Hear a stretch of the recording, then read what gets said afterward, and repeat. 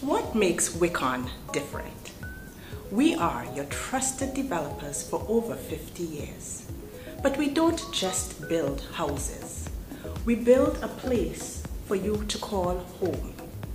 We create communities with you in mind. Set. Off and running, good start there for the man Miller, expected to take this one. GC Foster seeks a 1-2 here. Can they get it? Will UWI or UTech spoil the party for GC Foster at the moment? Eldemire of GC Foster, Miller of GC Foster. They seek 1-2 and they're in that position now at the 200 meters mark. Inside, Eldemire. Right on the shoulder there of Miller. Fastest man in the field coming to this final. Miller now steps on the gas and sees a straight first. So Miller, his teammate Eldemire with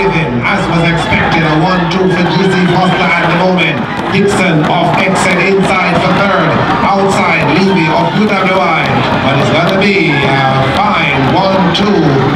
And here for GC Foster and Miller lives up to the minute and takes it in 52-02. So that man is really doing well here at Intercol 2017. Much is expected of him for this year. Congratulations, GC Foster,